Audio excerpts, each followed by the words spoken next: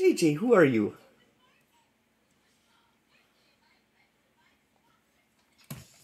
Are you Omega Flowey?